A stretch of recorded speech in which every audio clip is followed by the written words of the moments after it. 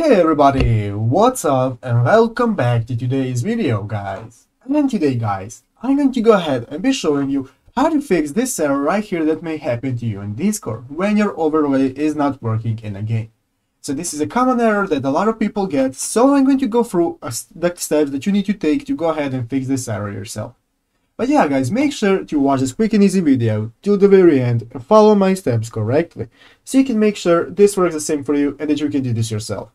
But yeah guys, let's get straight into it. So guys, if you keep getting this error, then I'm going to go through the steps that you need to enable so this will not happen again. So what you want to do first thing is go ahead and open up the Discord application if you haven't already. Go ahead and log into your account and after logging into your account guys, you'll be greeted by this main page right here where you can see all your Discord info, you can see your servers, you can see your friends list and so on. So guys, this is the main page and now we want to go ahead and open up the settings page we will do that by clicking this gear icon right here next to our name and picture which is the user settings. Go ahead guys and click on user settings and this will now open up this new menu where you can go ahead and change your Discord settings. You can see at the left side of the screen you have your user settings right here, you have your billing settings, app settings and so on. We want to scroll down guys all the way down until we find this option called activity settings.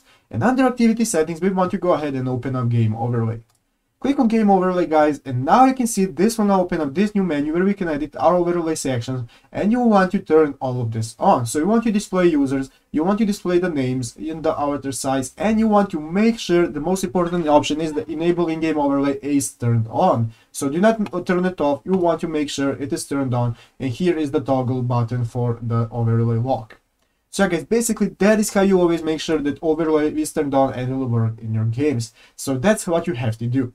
So I hope this video was helpful. If it was, make sure to leave a like and subscribe to the channel. So guys, thank you for watching. Take care and bye.